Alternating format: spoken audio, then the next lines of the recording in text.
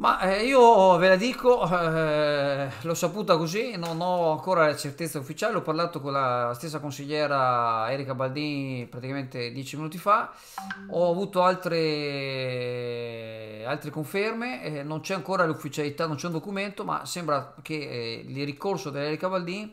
candidata alle regionali, eh, sia passato e ve lo dico proprio con, veramente con gioia, eh, dovremmo avere tre consiglieri regionali. Voi sapete che come Chioggia Azzurra ci siamo spesi fino all'inizio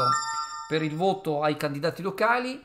E se questo veramente abbiamo fatto bingo, siamo riusciti veramente, non dico che sia merito di Chioggia Azzurra assolutamente, però insomma un contributo penso che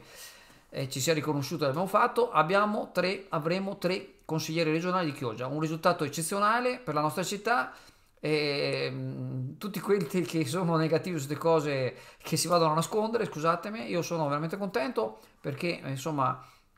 come dicevamo anche questa mattina in rassegna stampa con l'ingegnere Achille eh, Cester e la, l'assessore Alessandra Penzo, è giusto eh, diciamo che eh, si vada incontro alla volontà popolare. L'Erica Cavaldini ha surclassato il candidato 5 Stelle alla presidenza della, della, della Regione Veneto, e ha avuto una strage di preferenze come per carità anche Benanino ma comunque voglio dire nel caso suo eh, ha avuto veramente un numero di preferenze altissimo e quindi sarebbe, vi dico sempre con condizionale, sarebbe stata premiata la volontà degli elettori. Chioggia ha,